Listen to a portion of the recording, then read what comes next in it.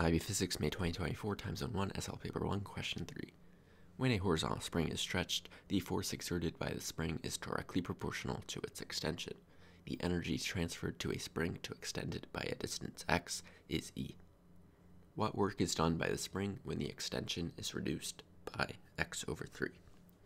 So reduced by. So that means our new extension is going to be 2x over 3.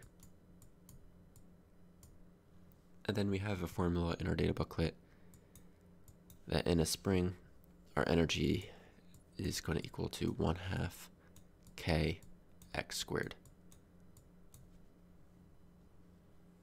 So we can plug that in for this new case, and we're going to have e prime equal to 1 half k times 2x over 3 squared, which is going to equal 1 half k times 4x squared over 9.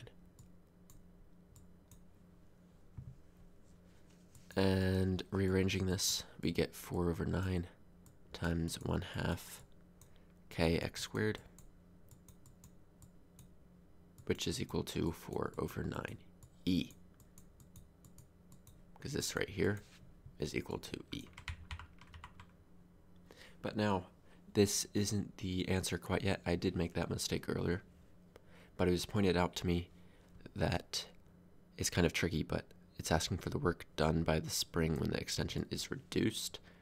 So it's the uh, energy before of E minus this 4 over 9. So now we get, imagine this says 9 over 9. So we are going to get 5 over 9e. So the answer should be D, I believe.